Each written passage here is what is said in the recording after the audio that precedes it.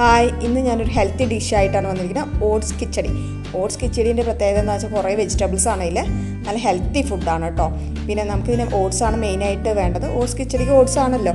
ഇനിയിപ്പോൾ ഇതിൽ steel oats കിട്ടും നമുക്ക്. സാധാ ഓട്സ് ഉണ്ട്. പിന്നെ റോൾ റോൾ ഓട്സ് ഉണ്ട്. നമുക്ക് ഏത് ഓട്സ് കയ്യിലുള്ള അതുകൊണ്ട് ഉണ്ടാക്കാം കേട്ടോ കിച്ചടിയാണ് ഇതിന് വളരെ സിമ്പിളാണ് നമ്മുടെ ഉള്ള എല്ലാ വെജിറ്റബിൾസും ഇടുക അത്രയേ ഉള്ളൂ.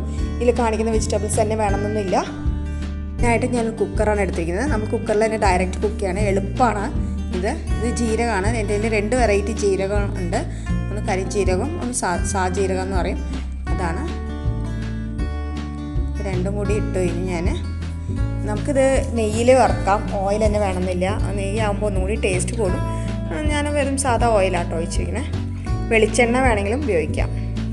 ഇതിലുള്ള എല്ലാ വെജിറ്റബിൾസും നമ്മുടെ കയ്യിലുള്ള സവോള തക്കാളി എല്ലാം ഇടാം. എണ്ണയിൽ ഞാനിപ്പോൾ കായ ഇട്ടു. കായ പൊടിയാണ് ഇട്ടിരിക്കുന്നത്. കായ ഉണ്ടെങ്കിലും ഇടാം കേട്ടോ. ഏതാണെങ്കിലും കുഴപ്പമൊന്നുമില്ല. ഇനി തക്കാളി ഉള്ളിയും കൂടി ചേർത്തിട്ട് വഴറ്റാം. പിന്നെ ഗ്രീൻ പീസ് ഞാൻ ഇതിലിടുന്നുണ്ട് ഗ്രീൻ പീസ് ഇല്ലെങ്കിലും കുഴപ്പമൊന്നുമില്ല. ഉണ്ടെങ്കിൽ ഇട്ടാൽ മതി കേട്ടോ. എന്റെ ഫ്രഷ് ഗ്രീൻ പീസ് ഉണ്ടായിരുന്നതുകൊണ്ട് ഞാൻ അതിലിട്ടു ഇനി ഇതിലേക്ക് ഞാൻ ഉപ്പാണ് ആഡ് ചെയ്യണത് ഓട്സ് കൊണ്ട് നമ്മൾ ദോശ പിന്നെ ഉപ്മാവ് പിന്നെ നമ്മൾ പാലൊഴിച്ച് ഉണ്ടാക്കി കഴിക്കും. ഇതല്ലാണ്ട് വെറൈറ്റി നമ്മളൊന്നും ശ്രദ്ധിക്കാറില്ല ഉണ്ടാക്കാറുമില്ല അപ്പോൾ ഇത് ഒരു വെറൈറ്റി തന്നെ നല്ല ടേസ്റ്റ് ആട്ടോ. ഒന്ന് ഉണ്ടാക്കി നോക്കണേ.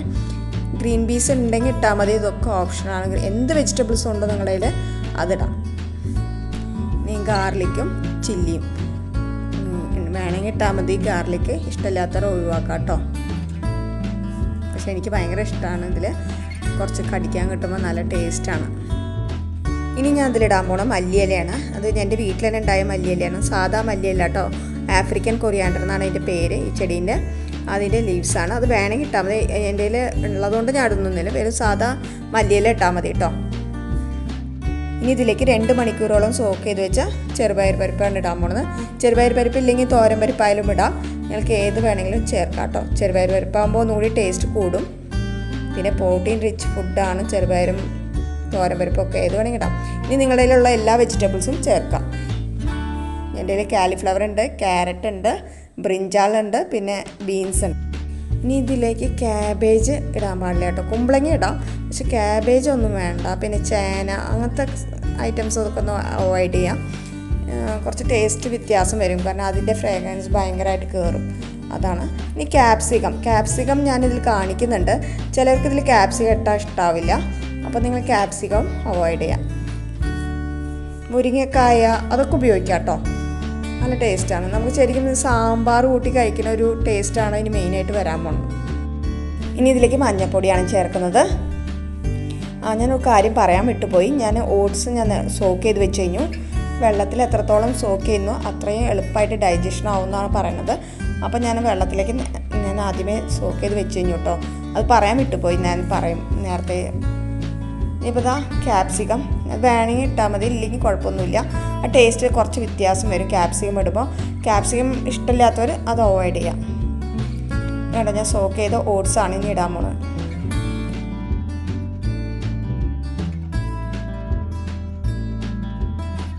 ഇനി ഇതിലേക്ക് ഒന്നര കപ്പ് നമ്മൾ വെള്ളം ഒഴിച്ച് കൊടുക്കുന്നുണ്ട്. ഈ സമയത്ത് നമ്മൾ ഉപ്പൊക്കെ നോക്കണം. നിങ്ങൾക്ക് വേണമെന്നുണ്ടെങ്കിൽ കുറച്ച് കൂട്ടിയൊക്കെ കൊടുക്കാം. എനിക്ക് ഉപ്പ് തികഞ്ഞില്ല കുറച്ചും കൂടി ഇട്ടിട്ടുണ്ട് കേട്ടോ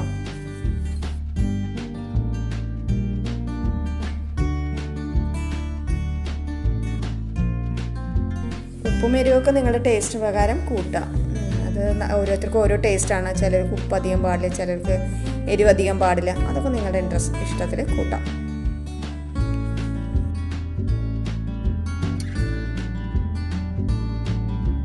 ഇനി ഇതിലേക്ക് ആവശ്യത്തിന് മുളക് പൊടി ചേർക്കാം. ആ മുളക് പൊടി ചേർക്കുമ്പോൾ തന്നെ നമ്മുടെ കളർ അങ്ങോട്ട് മാറും നമ്മുടെ ഓട്സിന്റെ ഈ കളറിൽ കാണും. ഇനി നമുക്ക് കുക്കർ അടച്ചു വയ്ക്കാം നേരത്തെയും കൂടി ചെറുപയർ പരിപ്പ് വേവിച്ചാൽ നമുക്ക് രണ്ട് വിസിലൊന്നും വേണ്ട. ഒരൊറ്റ വിസിലെടുക്കാം.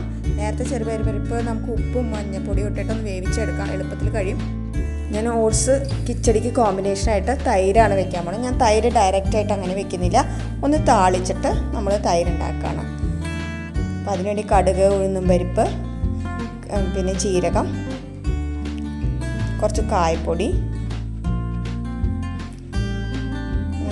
ലാസ്റ്റായിട്ട് നിങ്ങൾ സ്റ്റവ് ഓഫ് ചെയ്ത് കഴിഞ്ഞിട്ട് കുറച്ച് മഞ്ഞൾപ്പൊടിയും മുളക് പൊടിയും മല്ലിപ്പൊടിയും ചേർത്താൽ മതി. ഇല്ലെങ്കിൽ കരിഞ്ഞു പോകും അതുകൊണ്ട് ലാസ്റ്റ് ചേർത്താൽ മതി കേട്ടോ നല്ല ടേസ്റ്റാണ് ആ മണം ഭയങ്കരമായിരിക്കും ആ തൈരിന്റെ മുകളിൽ ഇതിങ്ങനെ ഇടുമ്പോൾ.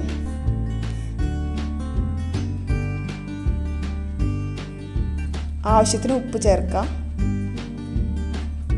ഞാനിതപ്പോൾ തൈരിലേക്ക് കരി പോകും പെട്ടെന്ന് എടുത്തില്ലെങ്കിൽ. ഇനി തൈരിന്റെ മുകളിലേക്ക് നമുക്ക് ഇതിങ്ങനെ ഒഴിച്ചു കൊടുക്കാം.